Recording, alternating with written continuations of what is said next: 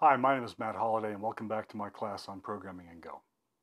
In this section I'm going to talk about code coverage tools in Go.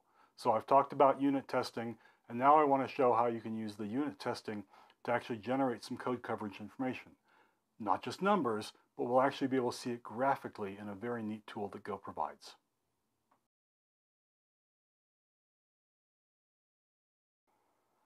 Okay, so there's an example I showed earlier when I talked about reflection. I had a program that I want to reuse, and it's this program that allows me to check and see whether a certain piece of JSON is found inside of another one. Okay, um, the actual program had these functions like match num and match string, all right, and then we had this more complicated one contains because it's looking to see is part of an object contained in another object right? And they were all driven by something called check data, which says, hey, you know, unmarshal these two strings and then see whether or not this logic works, right? The containment logic. And now I'm going to show you the tests that show an example of that.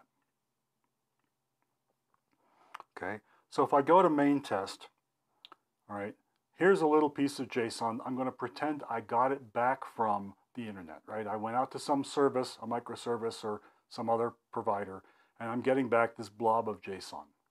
Okay, and you know, if I were using this for real, I'd be saying, well, is certain things inside of it? And so I have a couple of unit tests, right?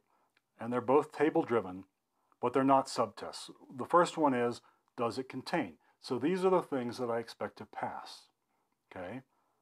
Right? Um, if I just look at these like, oh, does it have ID with the value 1? Yeah, it will do that right? Extra, name, address with an object. Those things will all be found, okay?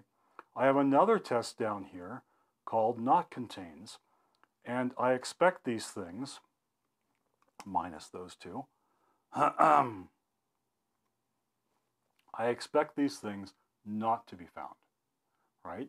So I have some positive tests and some negative tests, and that should drive the code coverage. Now, how do we do code coverage? And the answer is we run go test with a tool. So I need to, uh, let's make sure I'm in the right spot.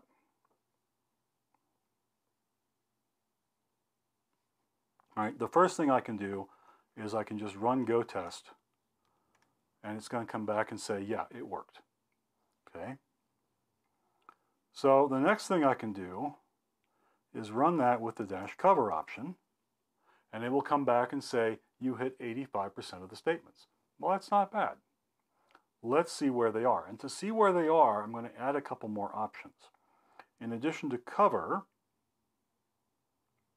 or actually in place of cover, I'm going to say cover profile, and that will cause it to take some information and put it into a file. Okay. The other thing I want to do is I'm going to give it an option that allows it to figure out like how many times were certain statements hit. So not just were they hit, but how many times. And will give us actually a heat map. We'll see a heat map of code coverage, which is kind of neat. Okay, so I'm going to run that. And if I do a list now, I'm going to have this c dot out, which I expect when I look at it, it's not going to be terribly informative to me, okay, but it's going to be used. And the way we're going to use it is we're going to run another tool called Go Tool Cover, okay, and I'm going to use it in a browser. So I'm going to bring it up in a browser and see it graphically. We can look here and see. If we look up on top here, and I'm going to, let's see if I can boost this up. Yeah, there we go. All right, so red is no coverage, low coverage, bright green is high coverage, and we can kind of see on these statements what we got to. Now, there's a couple things down here about, you know, like the JSON just doesn't decode, and I'm going to skip those. Okay, I'm not interested in testing the JSON decoder in that sense. But what I notice here is I look at my function contains, and I look at the code in it, right? It had a case for floats and strings, and then it has a case for object, and that had a three-way if statement, and two of those are not covered. Okay, well that's something I could. I can improve my code coverage, and I can improve my, my testing, okay, because code coverage is just a way to help you improve your testing okay, not a goal of its own, right? By finding a couple more test cases that would cover this. So let me skip back here. Well, actually, let's go take a look. So what is this first one, right? And the first one says I've got a key missing. All right. So if I added a test here that said, and it has to be a key for something that's going to be a, an object.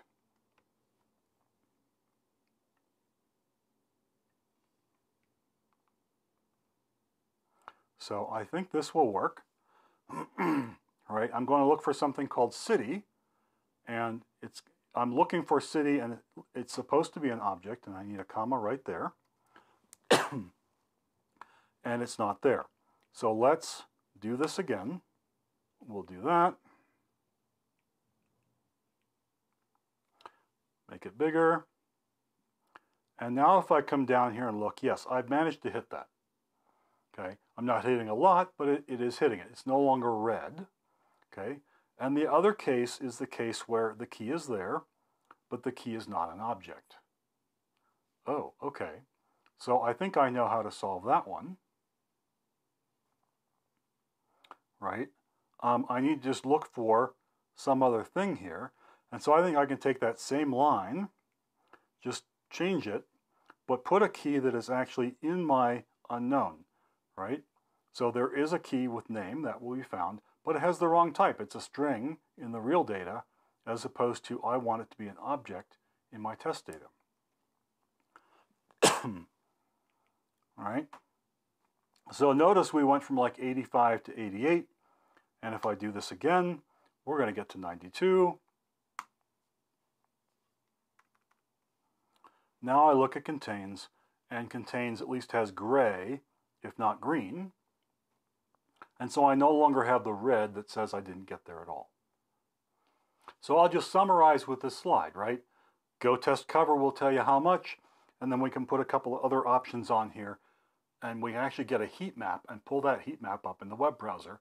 And that's really, really neat because that gives you an easy way to look at your code and just look for the red marks. The red marks, and then you can try to evaluate, do I want to try to cover? Chances are, once you've got a significant number of unit tests, the red marks are going to be error cases. Some of them will be easy to reproduce. Some of them you'll look at and just say, hey, you know what? Um, that's going to be too hard and I'm just not going to go there. It's your choice. Okay? I don't think trying to get to 100% makes sense if it means you got to do weird things in your code. And again, like I said, 100% code coverage does not mean your code works. And it'll give you a false sense of security if you're aiming for the 100% and saying, yes, I got 100%, I'm good. So that's my very short segment on code coverage. I just want to actually do that live, demonstrate the code, running the tests, and bring it up in the tool because I think this is something a lot of people are not maybe aware of, and it's a very powerful tool for getting a feeling for what are your unit tests helping you find and what how you can improve them.